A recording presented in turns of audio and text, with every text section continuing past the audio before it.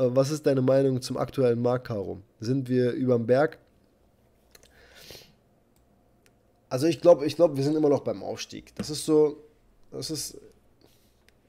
Ich bin immer noch der Meinung, wir brauchen, wir werden noch diesen letzten Schub sehen, neue All-Time-Highs setzen und dann werden wir den Markt runterkrachen.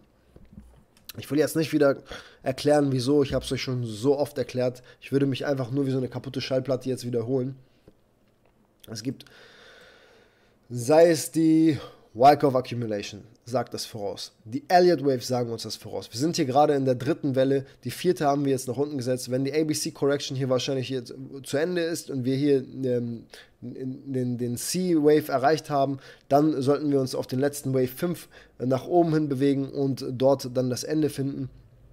Äh, sollen wir nach den Fibonaccis gehen, haben wir auch noch nicht die letzten Fibonacci Retracement Zonen erreicht, so wie wir es beim 2013er, 2017er gemacht haben. Wir haben unsere Preistargets noch nicht erreicht. Wir sind noch nicht äh, in der Nähe der, der Zeiträume, die wir uns ungefähr gesetzt haben, aufgrund der letzten Halvings. Mehrere, mehrere Faktoren, wie du siehst, sprechen immer noch dafür, dass das gerade nur eine Fake-Manipulation nach unten ist und wir noch ein All-Time-High sehen werden. Meine Meinung ist das. Müssen wir halt gucken, wie, was da wirklich passiert. Perfekt, danke. Danke dir auch, mein Lieber.